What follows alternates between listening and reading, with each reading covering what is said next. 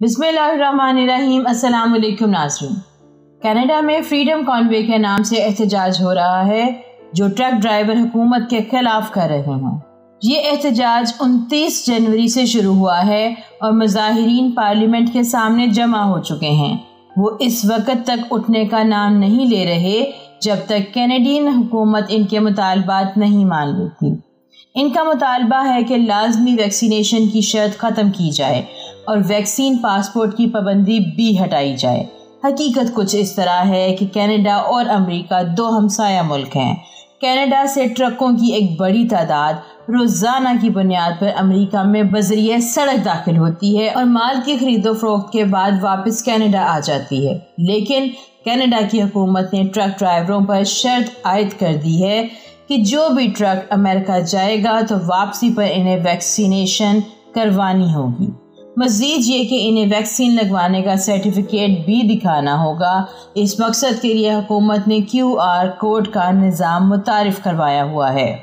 Border पर पहुँच कर ट्रक ड्राइवरों को क्यू आर कोड स्कैन करना होता है। यही नहीं, बल्कि वैक्सीन पासपोर्ट में कुछ ऐसी टेक्नोलॉजी मुतारफ़ करवाई गई है कि जैसे ही ट्रक ड्राइवर बॉर्डर पर पहुँचे तो बॉर्डर पर मौजूद बॉर्डर एजेंट्स के मोबाइल फ़ोन पर ट्रक ड्राइवरों की शनाख्त खुद ब खुद पॉपअप होना शुरू हो जाती है। यानी ट्रक ड्राइवरों को कोई कागज़ नहीं दिखाना पड़ता, बल्कि खुफिया तौर पर इनकी निगरानी की जा रही है। कोरोना वैक्सीन के नाम पर अवामनास की निगरानी नाकाबले कबूल है। इसीलिए Canadian truck drivers parliament house के बाहर सरापा एहतजाज हैं। दूसरी तरफ़ कनाडा के वज़ीर आज़म जस्टिन ट्रूडो ने ट्रक ड्राइवरों के एहतजाज को मामूली एहतजाज कहकर मामले को ज़्यादा भड़का दिया है, क्योंकि वज़ीर अजम के इस ऐलान के बाद ट्रक ड्राइवरों के साथ साथ आम आवाम इस कदर बड़ी तादाद में बाहर निकल आई है कि गाड़ियों और ट्रकों की 70 किलोमीटर लंबी लाइन लग गई है।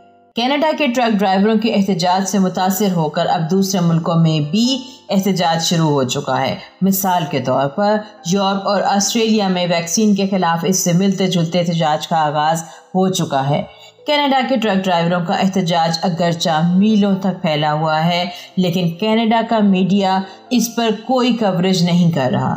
कैनेडियन मीडिया इस मामले पर मुकम्मल खामोश है, लेकिन आम आवाम ने सोशल मीडिया पर इस एहतजाज को इस कदर ज़्यादा कवरेज दी है कि जस्टिन ट्रूडो पर दबाव मुसलसल बढ़ता जा रहा है।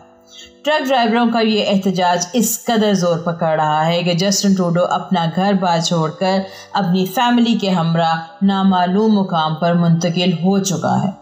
मामले की नज़ाकत को समझते हुए अपोजिशन ने बी ट्रक ड्राइवरों के हक में आवाज़ उठाने के लिए कनेडियन पार्लियामेंट में इस इशू को उठाया है और हुकूमत से मुतालबा किया है कि इस मामले को कुछ असलूबी से सुलझाया जाए, वरना मुल्क में खाना जंगी का आगाज़ हो सकता है।